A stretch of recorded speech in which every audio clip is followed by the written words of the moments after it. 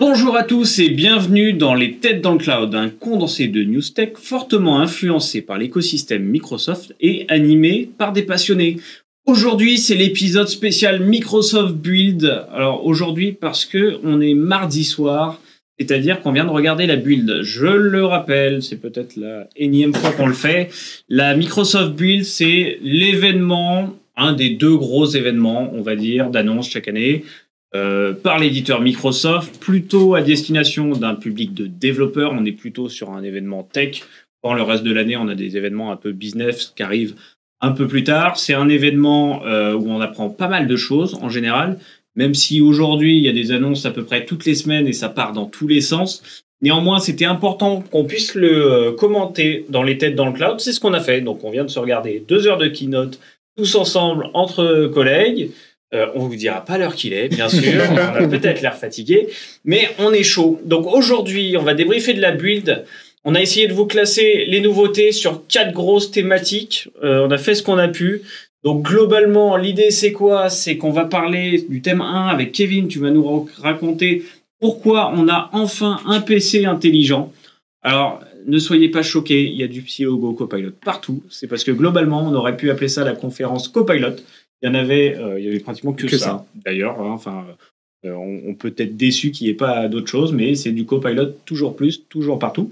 Sur le thème 2, Romain, euh, tu, Kevin d'ailleurs, pardon, tu nous diras également sur la partie M365 quelles sont les nouveautés Copilot. On va notamment parler de GPT-4o qu'on n'a pas eu le temps d'évoquer dans les têtes dans le cloud. Euh, en thématique 3, donc là, Romain, cette fois, tu nous parleras. Alors, je sais que ce soir, tu veux faire court, et pourtant, tu as plein de choses à nous dire. Euh, from no code to ProDev, globalement, avec des histoires autour mm. d'extensions, d'agents. On n'en dit pas plus. Et on finira, alors on a appelé ça le Many More Things. Vous voulez appeler ça le One More Things, mais One More Time. One More Thing, mais il y en avait beaucoup plus. Euh, donc ce sera le petit fourre-tout de la fin. Euh, il y a quand même pas mal d'autres choses euh, à évoquer, certaines choses qui t'ont plu, Kevin, que tu voulais nous partager. Donc on fera une clôture autour du monde Azure, un peu de data, et on verra dans quel état on est à la fin. On va démarrer tout de suite pour entrer dans le vif du sujet.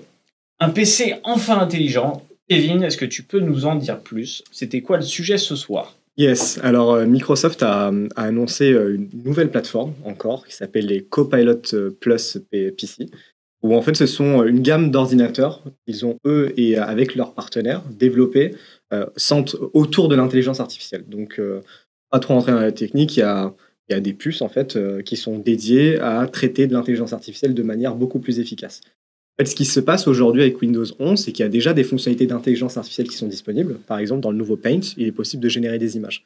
Mais quand on génère des images, bah, il y a votre prompt, donc l'instruction que vous donnez à l'IA qui est faite, elle est envoyée à des serveurs, ça utilise des modèles qui sont ultra euh, élaborés, complexes et coûteux en ressources. On attend, ça revient et il y a l'image qui vient. Donc c'est un, un, temps, euh, un temps important euh, entre le moment où l'instruction est demandée et le résultat est donné. Ça consomme de l'énergie et surtout on utilise des modèles qui sont euh, qui sont ultra complexes pour finalement une action qui ne l'est pas, pas énormément. Ça serait, euh, si on prend une image, ça serait allumer une bougie avec un lance-flamme plutôt que d'utiliser une allumette. Et du coup, l'idée euh, de Microsoft, c'est... Surtout pas d'Internet, pas d'IA. C'est ça, pas d'Internet, pas d'IA. Et ça, c'est un gros problème, tu n'as aucun traitement local. Aujourd'hui, tu n'as pas de connexion Internet, ça ne marche pas. Donc là, c'est l'introduction d'une nouvelle stack, hein, d'une nouvelle plateforme, tu l'as dit, globalement. Et du coup, donc les trois plateformes, telles que présente Microsoft, tu as la... la partie Copilot, la partie Copilot plus, PC, maintenant, et la, partie, et la Copilot Stack, c'est un peu le, la partie soft. C'est ça. Et du coup, avec leur euh, Copilot, euh, Copilot PC, ce qu'ils font, c'est que euh, ils ont introduit plusieurs SLM, donc c'est un peu l'opposé des LLM. Donc des LLM, c'est des Large Language Models, et les SLM, ce sont des Small Language Models. Donc ils sont beaucoup moins performants en termes de, on va dire, de complexité, mais par contre, ils sont ultra efficaces pour les petites choses du quotidien. Par exemple, générer des images, ça sert à rien de prendre un GPT qui a plus de centaines de, plus de 170 milliards de paramètres. À utiliser un modèle qui fait 3 milliards, en l'occurrence, euh, celui qui est utilisé, c'est Phi3, mmh. bah, ça fait largement le job. Et du coup, ils ont plein de petits modèles comme ça qui sont capables de faire tourner sur le PC. L'avantage, c'est que c'est plus rapide. Ça ne nécessite pas de connexion Internet pour que ça fonctionne. Et euh, ils arrivent à débloquer tout un tas de nouveaux cas d'usage sur les PC, euh, comme par exemple la génération d'images, bon, ça, on l'avait, la partie recall qui nous a vachement bluffé, qui vient historiser par exemple intelligemment toutes les actions que tu fais sur ton PC. Alors, euh, ça, voilà, je me rendais pas compte de ce que c'était, mais tout le monde a fait waouh, c'est incroyable. Le recall, c'est quoi? Alors, en fait, c'est euh, une fonctionnalité qui euh, enregistre ton PC toutes les 5 secondes, donc l'état entier de ton PC. Donc, euh, par exemple, quand tu euh, faisais une restauration. euh, Bah, en fait, c'est Plus ce que ton PC voit. oui, c'est ça. c'est plutôt ça. En Parce fait, que Ok. tu, t'as- imaginons, tu C'est pas as, tant l'état de ton PC. cherché un meuble hier, tu as trouvé des trucs intéressants, et puis tu Comment as. tu sais, Kevin? Je sais pas. on sait- avant ça, tu t'appelles Kevin. hein Mais tu as vu des trucs intéressants, et puis tu as tout fermé, tu as tout perdu. Et en fait, plutôt que de te re- refaire tout ton historique pour essayer de retrouver le bon site, tu dis bah tiens, j'ai vu un canapé orange hier, euh, il avait l'air sympa, est-ce que tu peux me le retrouver? Et là, il va te le retrouver. Ouais. Dans l'historique de ton PC. Et il va te retrouver quoi? Un, euh, La page Oui. exacte, te réouvrir la page? Et c'est ça. Et donc, il y a deux manières d'interagir, c'est vachement impressionnant. C'est soit tu remontes dans le temps, comme une frise chronologique, soit tu peux lui demander en langage naturel, en fait, euh, comme Kevin disait, euh, écoute, je cherchais un canapé orange hier. En, en fait, ils appliquent l'IA sur une fonctionnalité qui avait fait beaucoup parler d'elle, c'était il y a plusieurs années, euh, et c'était daté même de Seven, etc., où tu avais ce côté euh, recovery, tu choisissais une date de plusieurs heures, Ça, plusieurs jours. souvenir de ça. Tu te souvenais de ça antérieures, Voilà. euh, Et- t'avais la moitié des jours manquants, mais t'avais peut-être un jour qui était beaucoup- ouais, mais ça, ça fichier dans le voilà, bon état, quoi. Voilà, mais ça. Mais là, ils appliquent l'IA dessus. Et en plus, comme il dit, sur ce que tu vois, puisque maintenant l'IA. euh, tu peux le demander vu, en langage naturel. C'est ça. Et localement, c'est ça qui est impressionnant. Euh, donc ça, c'est c'est vachement, vachement impressionnant. Donc là, je te, je te coupe, mais on, Ouais. on comprend l'intérêt des SLM. C'est-à-dire que les SLM, ils l'avaient annoncé déjà en octobre dernier ou novembre dernier. Ils avaient parlé de ce fameux Phi 3, qui est leur modèle dédié du coup à être portable. C'est ça, euh, Ils à avaient expliqué à l'époque que Phi 3, c'était un modèle qui est plutôt à destination des mobiles pour le faire tourner Mm. localement. Tout à fait. Par contre, un des premiers usages qu'ils en font, globalement, c'est euh, Le PC. le PC. Le PC, tout à fait. Je sais pas si on avait la- la- la- le screenshot sur Phi 3 euh, sur, euh, globalement, parce que ce qui est intéressant sur les performances d'un modèle comme ça, voilà, c'est qu'il était comparé à, aux autres modèles large language model et on se rend compte que c'est pas parce qu'il est small que ses performances moins- n'en- sont- Bah, enfin, en sont moins bonnes. C'est pas la date qui compte. C'est pas la taille qui compte. Merci Romain. on a Et- senti que Ah. Et du coup, ce qui est, ce qui est intéressant là-dessus, donc déjà Microsoft annonce déjà pour cette première génération de PC qu'il y a une quarantaine, cinquantaine d'API qui sont disponibles, qui sont utilisables par des partenaires. Donc il y a déjà Adobe, euh, entre autres, qui, qui s'en servent. Donc ça veut dire qu'il y a plein de traitements aujourd'hui qui sont obligés de passer par euh, Internet qui vont pouvoir être localisés. Donc ça, c'est vachement bien en termes de performance, en termes d'environnement. Et même si on prend, euh, on va dire de manière un peu plus générale, euh, ce qu'on observe, c'est qu'en un an, par exemple, euh, on a eu un gain de performance de x6 sur l'utilisation de modèles comme GPT, par exemple, et un Mhm. coût qui a été divisé par 12. Et euh, pour moi, la division des coûts, ça va être aussi grâce à ça. Parce que aujourd'hui, pour tout un tas de choses, on utilise des modèles comme GPT qui sont ultra complexes, qui sont ultra consommateurs. Ça, il le comparait à GPT-4 à sa sortie. Ouais. Enfin, ces indicateurs-là sont fait. comparés à GPT-4 à sa Tout à sortie. fait. Et du coup, aujourd'hui, bah, pour tout, on est obligé de passer par des modèles comme ça qui coûtent de l'argent, qui coûtent des, euh, qui, coûtent- enfin, qui nécessitent des investissements en termes d'infrastructure et tout. Et aujourd'hui, si on arrive à déporter tous ces besoins du quotidien en fait côté localement, Edge. côté Edge, tu sollicites beaucoup moins les infrastructures. Tu peux, du coup, tu as moins de demandes, donc tu peux euh, diminuer les coûts. La Et sécurité. tu as la sécurité. Ça- évite les-. Comme il y a eu la, la fuite il y a un certain temps où les gens sont partis avec les prompts et les résultats de prompts de, de- de- de- des, des millions. C'est une base intéressante à exploiter pour des pirates sur les usages, sur ce que les gens font. Là, c'est en local sur ton poste. Donc, bon, ça n'empêche pas que si, si c'est ton poste qui est volé, bon, mais ça reste tes prompts à toi, ce qui est déjà pas terrible. Mais c'est pas des millions d'utilisateurs de prompts qui, qui partent dans la nature. Mais du coup, Ouais, c'est- quoi le rapport avec euh, Windows Copilot On avait vu en train, enfin pour bien qu'on comprenne un peu, parce qu'on avait parlé de Windows Copilot qui permettait de mettre le mode black, euh, par exemple, euh, Ouais. sur euh, sur ton écran. Là, on est un étage en dessous. C'est un état- C'est plus le fait qu'ils vont le déporter sur chaque application Windows. Ça va être complémentaire au fur et à mesure. Parce que là, par exemple, la partie euh, image. Image, Ouais. elle est intéressante parce qu'aujourd'hui, quand tu utilises la partie image dans Paint, euh, ça utilise DALI. En fait, ça envoie et ça utilise euh, le modèle DALI de ChatGPT. Demain, avec ces euh, AIPC qui arrivent dès le 18 juin de mémoire, et ben en fait, ça va pas utiliser DALI. Ça va utiliser le petit SLM en fait dans le PC nativement. Va pas utiliser une seule fois ta connexion Internet pour ça. Ça fonctionne. Et donc, je pense qu'au fur et à mesure, typiquement, aujourd'hui, le Copilot for Windows 11 qui te sert de passer le mode black, qui envoie ta requête à GPT, qui revient et qui interprète, bah, ça va le faire localement le en fait. Donc là, tu réduis, alors, enfin déjà, tu n'augmentes pas ta saturation euh, des data Des centers euh, et euh, moins d'impact. En tout cas, pas un impact supplémentaire. Mm. C'est-à-dire que tu rajoutes des usages, mais sans impact supplémentaire. Là, tu, tu parlais du 18 juin et l'anecdote, tu me disais que c'était euh, juste après Je l'annonce pense parce que de, de la convention Apple, Parce c'est que ça le 10 juin, il y a la WWDC d'Apple et il y a les rumeurs disent que Apple va enfin présenter ce qu'ils vont proposer en termes d'IA générative. Et il y a déjà quelques mois, Apple avait euh, publié un papier de recherche pour justement traiter euh, des demandes d'IA générative localement localement. via les NPU. Et je crois que j'avais lu un article là-dessus, je sais plus c'était quoi. c'est en général un NPU euh, est beaucoup moins gourmand et, euh, et en fait est jusqu'à qu'en 40 c'est les nouvelles puces. c'est ça, les Neural Processing Units, qui sont dédiées pour l'intelligence artificielle, et elles sont 40 fois, en général, jusqu'à 40 fois plus efficientes qu'un GPU traditionnel. Donc ça consomme moins, c'est beaucoup plus efficace, ça réduit entre la consommation de ta batterie, enfin, tout quoi. Et Mm. aussi ta dépendance à envoyer systématiquement des requêtes sur Internet. Et toute cette partie est liée aux innovations infra, bien évidemment, puces. On a eu euh, lors de la keynote un rappel des puces Maya, des puces Cobalt qui commencent à être utilisées par pas mal d'éditeurs.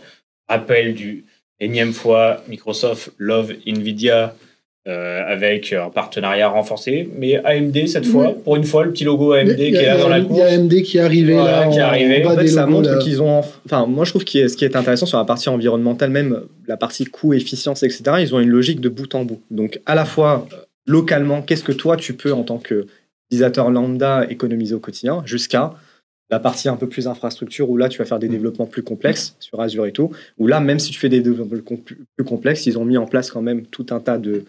Euh, comment dire de- pour que tu consommes moins de point de vue énergétique et que tu utilises aussi le bon modèle par rapport à ton besoin. Pas prendre euh, le lance-flamme alors que tu as juste besoin d'une allumette Mm. quoi, ou d'un briquet. Et sur la partie environnementale, du coup, ils ont rappelé leur engagement, c'est ça? C'est ça, apparemment, euh, 2025, 100% de leur infrastructure cloud euh, tourneront sur euh, de l'énergie renouvelable.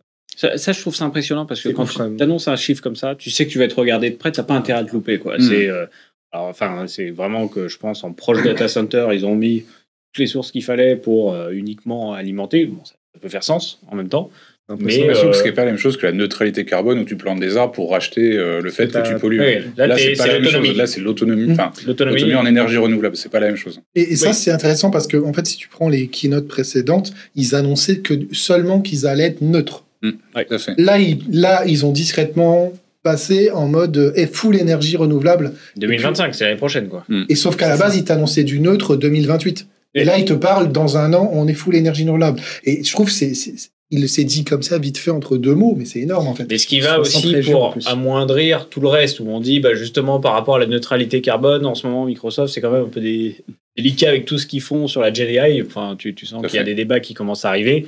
Bon bah là, il il y a une compensation malgré tout qui est faite parce que euh, je me rends autonome sur mes data centers. Les- Donc, Et SLM, c'est vraiment, je trouve, une très très. Enfin, l'année dernière, déjà, Mm. on, on- trouvait que c'était une très belle euh, annonce. En fait, c'est même logique. C'est c'est- oui, c'est c'est le, modèle ne pouvait pas durer sur euh, toujours plus en compute. Euh, C'est plus élégant, c'est aussi ça l'informatique. C'est Comment est-ce que tu fais pour optimiser à chaque fois en fait tes, euh, tes réponses à tes besoins? Et le SLM, c'était obligé Tout que ça arrive fait. à un moment donné, quoi. Parce que et, et du coup, ça va donner une valeur assez forte à la gamme Surface. Peut imaginer. Enfin, Ah, c'est des partenaires. Après, c'est- le 18 juin, c'est tous les partenaires. hein. Il y a aussi Dell, il y a aussi euh, HP, Ok. il y a aussi tout ça. hein. Microsoft a annoncé, le- je crois que c'était hier leur conférence. euh, Ils Donc ont, c'est lié à Windows. avant. C'est ça. C'est ça, c'est euh, Windows qui a euh, code Alors, board du a- coup du SLM. Il y a Windows ARM, le partenaire euh, ARM c'est Qualcomm, euh, donc euh, là qui est leader euh, là-dessus. Et, euh, euh, et du coup, en fait, euh, ils ont dégainé en premier, Microsoft, mais ils ont annoncé que Lenovo, HP, Dell, enfin tous les gros constructeurs en fait ça, allaient s'appuyer proposer À la même date. Ok. derrière le, le sigle Copilot plus AIPC. Donc il y a tout un tas de, il y a un cahier des charges en fait à respecter pour rentrer dans cette gamme-là. Et euh, du coup, bah, tout le monde est le bienvenu quoi. Et ça c'est bien. Donc ça, plutôt bonne nouvelle. Très En bonne tout cas, ça, ça va dans le sens de l'histoire. On voit euh, finalement, hein, ça fait qu'un an qu'on se raconte tout ça. On voit une industrialisation donc des LLM. euh, ils sont maintenant natifs, moins impactants. On va pouvoir les mettre de manière plus spécialisée, comme tu dis, plutôt que ramener à chaque fois une grosse machine Mm. euh, sur des petits usages. Et on a plus de chances d'en voir partout finalement. Pour moi, c'était un des points que j'avais soulevé dans, dans mon article l'année dernière. C'est pour démocratiser, pour moi, l'IA générative telle qu'on la voit aujourd'hui, c'était pas possible, euh, en fait, en se basant que sur des LLM et en grossissant, grossissant les infrastructures. Au bout d'un moment, t'as- visionnaire. Non, pas du tout. non, mais c'était, pour moi, c'était. Non, mais c'est ce qu'on m'appelle- disait. Non, mais oui, non, mais c'est Allez, ça, allez c'est ça. consulter euh, les articles de Kevin. euh, C'est ça. il a un temps d'avance sur tout le monde. Il, Exactement. il- il retrouve Ah. l'amour perdu, répare la machine à laver à Un, point, un point intéressant. Quand, on a, quand ils ont annoncé les SLM l'année dernière, moi je m'attendais à ce que ce soit juste la, la partie texte. Pas qu'il n'y ait jamais l'aspect euh, C'est vision, multimodal, etc. Mm. Là, dans Phi 3, il y a la partie vision. Ouais, Ouais, et, puis, enfin, c'est c'est là où tu vois, pareil, le coup d'avance. Quand il l'annonce en novembre, on Mm. pense que c'est juste dans la course au modèle. Bon, bah tiens, nous, il y avait les LLM, on a inventé les SLM, ça faisait un petit peu combat, euh, Mm. et, euh, etc. Et en non, la stratégie, pareil, était déjà écrite, ça, ça- enfin, Mais- on anticipait Après, sur ce allait c'est arriver. pareil, c'est pas les seuls qui ont, sorti- qui ont commencé à sortir des Non, non. SLM. Ils ont, ils ont le mérite Mais- de l'intégrer. tout à de fait. Mais est-ce que tu as, en dehors de toutes ces, de ces choses jolies, l'environnement, tout ça, est-ce qu'il n'y a pas aussi une contrainte juste d'avoir pour que les use cases soient faisables? Parce que comme tu l'as dit, euh, Kevin, euh, ça marche pour les trois. Euh, T'as de la chance aujourd'hui. euh, je suis bien aujourd'hui. Euh, c'est que le problème, c'est qu'avant, avec les LLM, tu passes par Internet et tu reviens. Et Ouais. quand tu veux faire des scénarios temps réel, voilà. Tu vois ce que je veux dire? À part, bon, ok, à la bourse, ils ont du temps réel de fou avec Internet, mais le temps réel de l'ordinateur de tout le monde, c'est pas possible en fait d'avoir des Mm. scénarios d'IA temps réel sur du LLM, sur le PC du- de tout le monde, même du matériel pro de base. Donc je pense qu'aussi les SLM, voilà. euh, Et je pense que de multiples SLM spécialisés vont permettre des actions temps réel chez toi euh, plus facilement aussi. Sans vouloir spoiler les sujets d'après, c'est quand même ce qu'ils annoncent sur GPT-4o. hein. Oui, voilà. C'est vrai que c'est. On va devoir Oh. passer à la thématique d'après, Oh, Kevin. mais quelle, Quelle transition, quelle transition, merci. Antoine qui dit ouais. Il était temps, les gars. Non, non, alors belle, belle intro pour le coup sur le thème 2, qui était les nouveautés Copilot. Le gros sujet de la soirée, c'était euh, GPT 4O, donc 4-O. Alors c'est important d'en parler, je, je vais faire une petite intro et après euh, Kevin tu nous expliqueras ce qu'il y a derrière, mais ça a été annoncé du coup il y a une semaine par OpenAI, Euh, c'était un peu la- la- leur première conférence un peu live Ouais. euh, globalement où on retrouvait, alors je crois que c'était la CTO d'OpenAI Ouais, qui ça. était là dans un petit salon avec deux de ses collègues et où ils ont fait de la démo live sur leur nouveau modèle euh, euh, qui s'appelle GPT-4o. Ce qui était intéressant, c'est que ça faisait le contre-pied un peu avec le Gemini euh, introduit par Google quelques mois auparavant et, et, on a vu que c'était peut-être une grosse mascarade. Euh, Il y a eu des bugs, mais enfin en seulement 20 minutes, tout le monde a pris une sacrée claque parce qu'on s'attendait pas à autant d'annonces d'OpenAI aussitôt euh, globalement. Et là, ce qu'on voit, c'est que ça va être clé dans les nouveautés Copilot, ce nouveau modèle, pour plusieurs raisons. Alors, l'info que je rajoute, c'est quand ça a été annoncé la semaine dernière par OpenAI, euh, c'était en preview sur Azure dès le lendemain. Uniquement dans le playground et uniquement aux États-Unis. Tu pouvais pas le déployer en tant que modèle, tu pouvais juste faire. Testé. Mais T'amuser d'être avec. rabat-joie. Enfin, déjà, c'était en preview. Ce qui est fou, c'est qu'une semaine après, c'est en GA partout. Et- Ah, ça est, Oh là là. il s'auto-spoil. Exactement. Donc, néanmoins, la vitesse, euh, enfin, et, et ça montre surtout l'ampleur du partenariat. C'est globalement, euh, on a une annonce officielle le lendemain matin, c'est sur Azure aux États-Unis dans le playground sans la voix, mais Ouais. globalement, on a le dernier modèle, euh, on va dire à la mode, qui est dispo. Et moins d'une semaine après, c'est la build. On annonce la GA de GPT-4o. Alors GPT-4o, ça fait quoi en, Pour ceux qui n'ont pas suivi, alors euh, si vous n'avez pas suivi, c'est réellement dommage parce que c'est juste une révolution Ouais. Tu veux parler globalement. de la démo? Non, non, vas-y, vas-y, euh, toi. Euh, Donc on est sur parle de 4 déjà. un modèle. On est sur un modèle qui est multimodal en input et en output. En français dans le texte, qu'est-ce que ça veut dire? Ça veut dire qu'en gros, on peut lui faire entrer soit du texte, comme on a l'habitude de faire, de l'image, du son, et en sortie, il peut nous sortir du texte, de l'image, du son. Donc c'est la fameuse, enfin le côté multimodèle qu'on annonçait depuis quelques temps en disant l'avenir il va de toute façon. Bah, qu'on avait en input déjà avec GPT Ouais. Vision, où on pouvait lui donner une image et puis derrière, il pouvait l'analyser, te dire qu'est-ce qu'il y a dessus, mais que tu n'avais pas forcément en output. Et surtout, il est moins cher. Alors, je ne sais pas ce qu'ils ont annoncé sur Azure. Pour Azure, pour Azure on n'a pas vu les prix encore. Mais globalement, c'était moins cher qu'un GPT-4 Turbo, même si je dis pas de bêtises, sur la version de Plus, GPT-4 plus rapide. plus rapide. En fait, ils annoncent du temps réel, pour le coup, dessus. Et euh, tu peux l'interrompre sans, diffi- sans problème, alors qu'avant, il fallait. euh, bah, globalement, tu avais son flux de streaming qui passait, et puis bah, fallait attendre C'est ça. que. Voilà. Et que jusqu'à maintenant. petite notion, l'interrompre, ça veut aussi dire que avant, on n'interrompait pas une phrase de texte qui apparaissait à Tout à l'écran. fait. Tout à Donc, fait. ce que tu sous-entends, c'est qu'il nous parle. Oui, exactement. Et alors, Bah, ça, on, est, on- on est dans Heure. hein. Ils annoncent dans alors, moins de ça. 30 millisecondes de, de latence. La, la démo est incroyable. hein. Pour Ouais. rappeler, c'est qu'avant ça, si on voulait euh, rajouter de la voix, on en avait parlé, on avait un service speech to ça. text qui traduisait, qui envoyait le texte. Et après, on avait un temps de latence. Lui devait prendre tout le contexte pour comprendre, pour te répondre. Donc, Et Le ensuite, temps il réel. fallait un speech to text dans l'autre il y a un sens. speech to text dans le sens. Le temps réel n'était pas possible, ne, serait-ce que pour la prise en compte du contexte. Là, ce qu'on a vu dans la démo qui est assez incroyable, c'est qu'il discute euh, globalement avec, cette, avec ce chat GPT-4o. Il discute, il l'interrompt en disant non, non, c'est pas ce que je t'ai dit. La voix s'arrête et, euh, et reprend du coup le nouveau fil Mmh, de conversation. Euh, on est assez proche, en effet, tu as parlé de Heure. Alors, Heure, c'est la grande référence. Si vous n'avez pas vu, vu ce film, H-E-R, c'était avec Joaquin Phoenix et Scarlett euh, Scarlett Johansson, Johansson, où euh, Scarlett Johansson interprète seulement la voix d'une IA dans un temps proche, ouais, C'est ça. GPT-4o, où, où finalement Joaquin Phoenix tombe amoureux de Scarlett, de cette voix, qui euh, bah, s'occupe de son calendrier, ses mails et tout, de sa vie mais à un fait, moment de sa vie, et au point d'en tomber amoureux. Aujourd'hui, c'est la grosse référence, je crois que même dans OpenAI a mis le hashtag Heure sur une de ses publications, parce qu'on n'est pas loin, finalement, même dans Mmh, peut-être euh, l'ère euh, de, de, de, de ce type d'expérience euh, présentée dans le film quelques années auparavant. Et on a des choses assez fous, c'est-à-dire que dans les démonstrations, on peut prendre son téléphone, lui montrer ce qu'on voit en temps réel.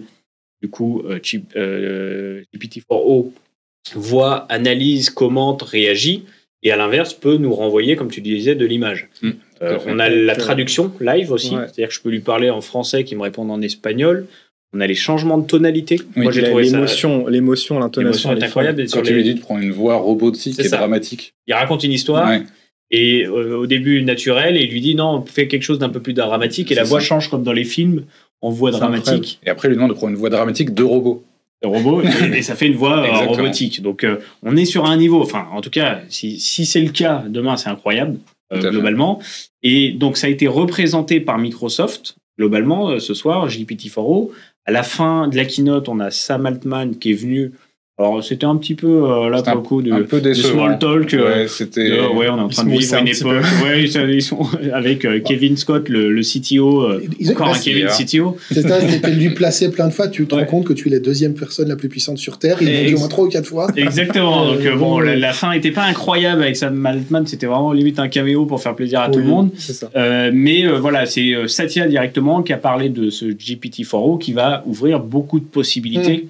Avec quelques démos qu'on a eues, du coup, donc là dans Copilot, euh, intégré dans Copilot et justement ils ont montré une des euh, une des possibilités euh, multimodales offertes. Et du coup ils montraient euh, Copilot où on pouvait désormais enfin là c'était pendant la démo partager l'écran et du coup interagir avec Copilot en disant bah là- alors là en l'occurrence c'était une partie de Minecraft en disant bah écoute je suis dessus j'ai besoin de construire une épée comment est-ce que je fais? Et du coup comme le contexte de l'écran en fait le partage d'écran est envoyé à Copilot bah Copilot euh, parle et interagit en disant bah faut que tu avances, il faut que tu fasses ci, montre-moi ton inventaire. Et- il te manque des ressources. Et, et ne fait pas que te lire un tuto, parce que beaucoup de gens pouvaient dire il te lit un tuto qu'il a trouvé sur Internet. Et en fait, au moment où, ben, vu que le jeu vit et que les zombies arrivent, Ouais.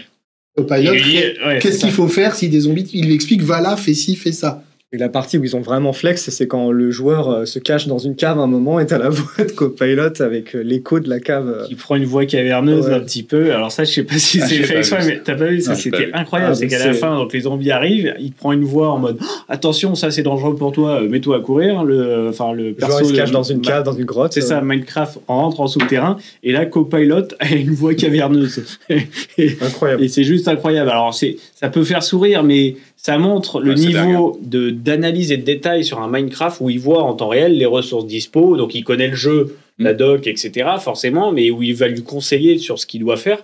Et quand Et on voit les zombies arriver, il y a une réaction directe comme puis- nous on le ferait quoi. Et puis là, c'est sur un jeu vidéo, mais après sur des usages un peu plus euh, réalistes professionnellement, par exemple. Tu es en train de développer, tu es Mais ils ont fait une démo sur du dev à un oui, moment ils montrent justement son où écran, ouais. elle montre son écran en disant bah tiens j'ai un problème à tel endroit j'aimerais bien faire ça j'y arrive pas et du coup il, il prend en- via la vidéo c'est un Jupyter Notebook enfin c'est du code Ouais. Python en gros et euh, il lui dit bah tiens tu devrais peut-être changer euh, telle méthode par tel truc et tu devrais arriver à ton résultat Ouais, t'a- T'arrives à un niveau d'accompagnement assez fort. T'avais la même chose, je crois, sur un, c'est leur fameux site e-commerce qu'ils remettent à Oui. chaque fois, où il dit, euh, voilà, je dois aller faire de la randonnée. montrer sa sandale. montre sa sandale, j'ai ça, est-ce que je suis bien équipé? Non, non, et du coup, tu me conseilles quoi?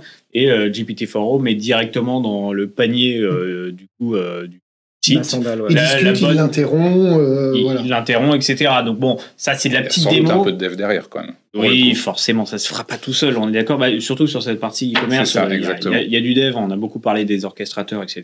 Il y aura des, des plugins, des skills à développer, c'est évident. On va, le côté tout seul, on va le voir dans une des prochaines news. euh, il, sera, il, y a des, con- il y a des contextes où ça sera plus ou moins tout seul.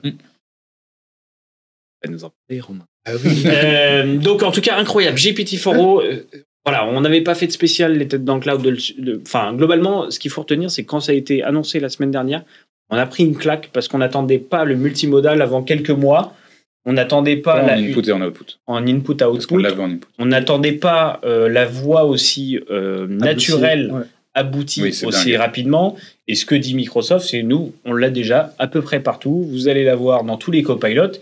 Finalement, cette expérience euh, de, de chatbot euh, haut niveau, enfin, on va le retrouver partout. Mm. Donc ça, c'était la grosse news Yes. sur la partie copilot, le GPT-4o. Deuxième news que tu avais sur Copilot, c'était quoi le copilot dans, enfin le team copilot. Team Alors, Copilot. Alors, qu'est-ce que c'est confidence C'est pas faire. Copilot dans Teams. Non, Si, quand même. un peu, ouais. En fait, petite confidence, la semaine dernière, il y avait la Google I.O., donc je regardais ça. Donc, euh, voilà. Ah, non, mais. Et du coup, bon, Coupé, coupé. Alors, coupé. L'annonce, euh, bon, il y a eu des annonces et tout, et une annonce qui m'avait donné envie, c'était euh, dans leur équivalent de Teams de chez eux, ils avaient la possibilité dans des conversations de groupe d'interagir directement avec leur, euh, leur copilot-like, on va dire. Donc euh, là, je parle à Kevin par exemple. Finalement, je sais que Kevin n'a pas peut-être pas la réponse. J'interroge mon IA. Comme ça, j'ai pas la réponse. Pe- Peut-être, peut-être. Il a dit peut-être. Il a pas dit quel Kevin. voilà, je lui pose une question, je lui dis comment on dit euh, Azure en tamoul, il, il sait pas, donc Il je sait demande à, Ça, à Bien- effectivement, je sais. bien rattrapé. Moi non plus, je crois d'ailleurs. et, et du coup, je me dis, ah tiens, c'est dommage, on n'a pas ça dans, dans Teams, parce qu'aujourd'hui, dans Teams, quand on interagit avec Copilot, on a la discussion Copilot à part, mais c'est une discussion privée. Donc c'est moi et Copilot, point barre. Et là, ils ont annoncé que euh, tu pouvais intégrer Copilot dans tes conversations de groupe. Donc tu peux soit avoir des discussions de groupe euh, comme on l'a, on est ensemble pour euh, les têtes dans le cloud, et du coup solliciter Copilot à tout moment pour euh, lui demander son avis. Et, eh, Copilot, Demain- prochain on a- invité on aura la une chaise en plus. donc hologramme. Copilot. Mais du coup, ça marche aussi dans les canaux d'équipe. Ça, c'est bien. Et ça marche aussi dans les discussions pendant les réunions. Parce qu'aujourd'hui, dans les réunions Teams, on peut interroger Copilot par rapport aux transcripts sur ce qui est en train de se passer. Ah mince, euh, qu'est-ce qui s'est dit? J'ai pas trop compris ce que euh, m'a dit euh, Romain. Mais c'est toujours un à un. Un, un, un, un. C'est- c'est une fenêtre. En fait, une- En fait, c'est euh, le- c'est que c'est sur le modèle du vieux de, de 30 ans, entre 40 ans, du Clippy sur le côté. C'est ça. Ouais. C'est ceux qui ont connu. hein. C'est le modèle du Clippy sur le côté. Et là, ce qu'il est en train de nous dire, c'est que c'est un collègue. D'ailleurs, c'est tellement un collègue qu'il est dans la liste des participants. Ça, ça, voilà, ça c'est ce qu'on voit. euh, On le voit à l'écran là, c'est qu'on a maintenant un nouveau participant qui est Copilot. Et, euh, et euh, vraiment bah, et que tout le monde va voir, va pouvoir interroger de la même manière. C'est ce qui- c'est presque ce qui fait flipper hein, maintenant qu'on va pouvoir lui parler Oui. en plus naturel. C'est vraiment un nouveau collègue. On se posait la question nous si on allait pouvoir l'accepter dans le lobby Teams ou non, en disant Copilot veut rentrer dans, dans la session et tu dis non non j'ai pas envie qu'il sache tout ce qu'on va se dire. Alors, moi, je trouve ça bien parce que parfois, les gens, quand, surtout quand ils rejoignent une réunion qui a déjà commencé, ils se rendent pas compte qu'il y a déjà la transcription. Même si c'est affiché, mais même en tout petit affiché. Là, euh, tu le vois dans les participants que Copilot est là. Donc, les gens qui ne veulent pas être euh, écoutés, suivis, euh, déjà, ils vont. Ça posera la question du licensing d'ailleurs. Aussi. Est-ce que tu peux l'activer en- si Est-ce qu'il faut que tout le monde l'ait, Est-ce quoi qu'il faut que tout le monde l'ait Euh, C'est ça pour l'avoir. Moi, je- mon côté, on va dire, très optimiste et tout, dirait que si tu as une personne qui a la licence dedans, c'est la seule personne qui pourrait interagir avec Copilot. Peut-être si c'est l'organisateur de la réunion. Peut-être. Ouais, ou dans une conversation de groupe, je sais pas, on va dire qu'il y a que Romain qui a une licence. C'est peut-être juste le seul qui peut lui parler. C'est le seul Moi, qui peut lui parler peut-être que tout le monde peut voir les réponses quand même. Me dis, tu as comme un participant comme un autre. Hmm. Moi, c'est mon côté optimiste qui dit Moi, ça. moi- moi, je pense Je que c'est le- ta vision, c'est que ceux qui ont une licence vont pouvoir lui parler et les autres, le hat Copilot ne marchera pas. Non, le. Les autres vont demander- non, mais ils arriveront pas à lui poser une question, je pense. non, la on n'en sait question, rien. non, la question ne sera pas, à mon avis, tu pourras pas poser la question, Oui. mais tu verras Copilot a dit ça parce Oui, que oui. Romain a sollicité. Et, et tu seras obligé de demander à Kevin est-ce que tu peux lui, Lui demander demander. si- T'imagines les scénarios Et, hein. et peut-être la, la, la, la- comment dire, la version un peu plus business, ça m'étonnerait pas que Microsoft exige que toutes les personnes de la conversation une licence Copilot. Voilà. Je pense que ce sera plus ça. Ouais. On verra dans quelques temps Ouais. quand ça viendra. Mais ça, c'est une belle nouveauté. Et du coup, euh, Bah, Google avait eu l'exclusivité, on va dire, pendant une semaine, et là maintenant, euh, c'est intégré. Encore Google, on ne sait pas si c'est vrai. hein. Si c'est comme Gemini, c'est peut-être un gros fake. Écoute, hein. c'est mon côté optimiste, on va dire. Là, ils ont, ils ont appris de leurs erreurs. La voilà. petite balle, la petite balle gratuite en passant là. Mais voilà, donc ça, c'est c'est une très grosse nouveauté. Et donc, on l'attend. on l'a dans les euh, donc, conversations messages, dans les conversations vidéo aussi. Enfin, fin de réunion, Ouais, c'est ça, réunion. et dans les canaux d'équipe. Et ça, c'est top. Est-ce qu'on l'a dans Mesh? Ah bah c'est dans une réunion. Ah, mais tu Mesh. peux pas envoyer de message dans Mesh. À l'intérieur de Mesh, tu peux pas envoyer de message. Et tu peux l'inviter dans Mesh avec toi. C'est pas. Faudrait tester. Alors je pense que je pense Ah, que il est pas là. Alors tu as raison. Je, moi je serais pas surpris qu'à l'Ignite en septembre, Ah ouais. ils nous annoncent le petit avatar autonome euh, copilot dans Mesh. C'est quoi ça Le retour de Clippy. ils, avaient annoncé ça, pour la, part, la petite aparté, ils avaient annoncé euh, là leur partenariat avec euh, Meta encore sur le Quest 3 avec euh, Windows déporté et manipuler des, des objets. Ça m'étonnerait pas, mais ça se trouve, tu as ton copilot qui traîne à Ouais. droite et tu lui poses des questions, quoi, comme, ton, comme un Jarvis. Ah bah, c'est super en tout cas. Et du coup, euh, il bénéficiera de GPT.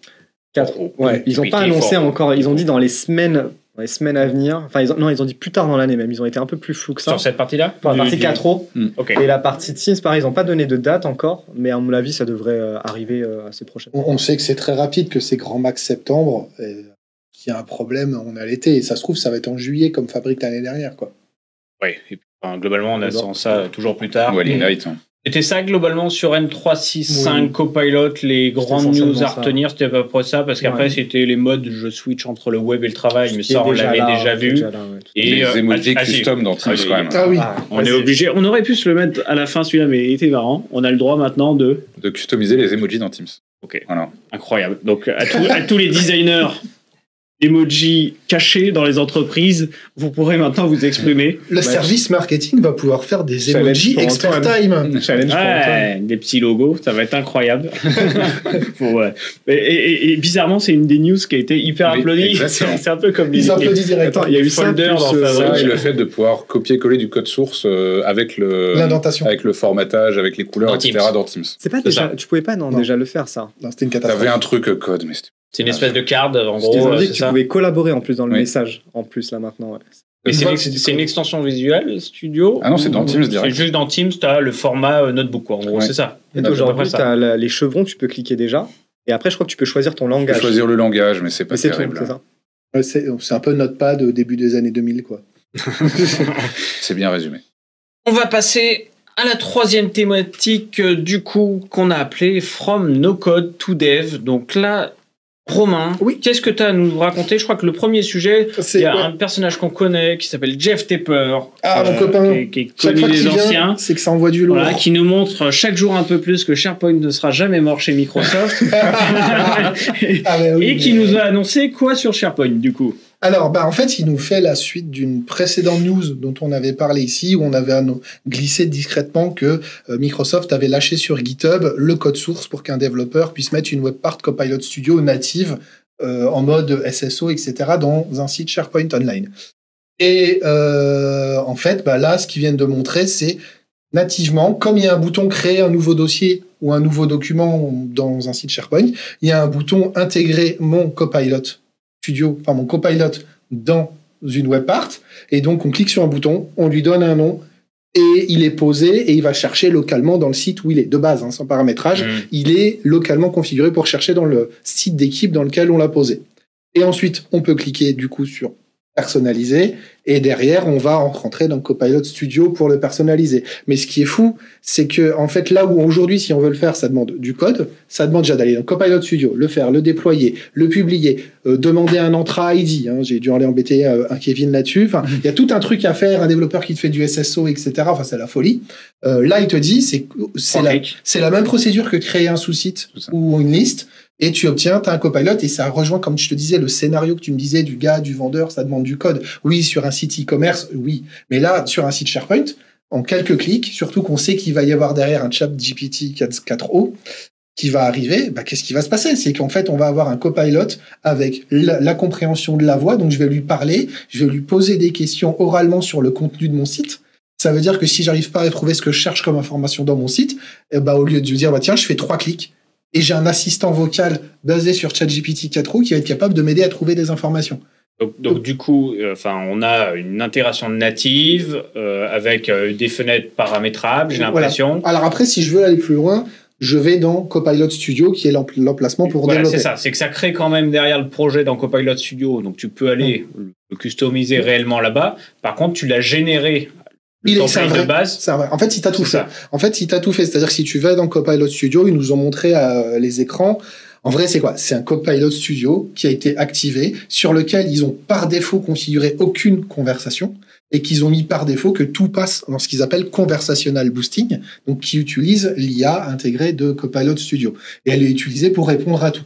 Maintenant, rien n'empêche la seconde d'après de faire comme on peut faire dans un Copilot Studio et de faire tout ce qu'on a envie de faire, les conversations, les generative action, etc. Enfin, on peut tout personnaliser, mettre du Power Automate, etc. Mais de base, au moins, on a un truc qui marche. Et du coup, ça, oui, Ce qui est marrant, c'est qu'ils l'ont créé comme un objet. C'est-à-dire que maintenant, dans c'est ta comme une liste liste. SharePoint, comme une liste SharePoint. ouais, tu, une- tu vois le, le Copilot dans ton dossier. Alors, c'est, non, c'est plutôt, il est à côté, c'est plutôt comme une liste ou une bibliothèque de documents. C'est, un, nouveau, ti- aujourd'hui, tu avais les sites, les sous-sites, les listes, les bibliothèques. Et ben maintenant, tu auras les Copilot Studio qui s- Ok. se rajoutent comme tu créerais un sous-site ou ce genre de choses. Et que tu pouvais partager tu euh, peux- comme un fichier OneDrive. Alors oui, euh, c'est ça. Par contre, oui, c'est vrai qu'en effet, c'est qu'en plus, tu as la gestion des droits, c'est vrai, qui est aussi simplifiée. Parce que tu, tu cliques dessus, tu dis là, il est pour moi.